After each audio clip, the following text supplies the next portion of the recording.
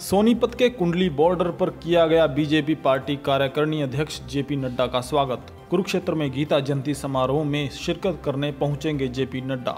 सोनीपत के सांसद रमेश कौशिक और राई से विधायक मोहनलाल बडोली, ने और गन्नौर से विधायक निर्मल चौधरी और राई से युवा बीजेपी नेता पुनीत राय ने बीजेपी कार्यकर्ताओं के साथ किया उनका स्वागत।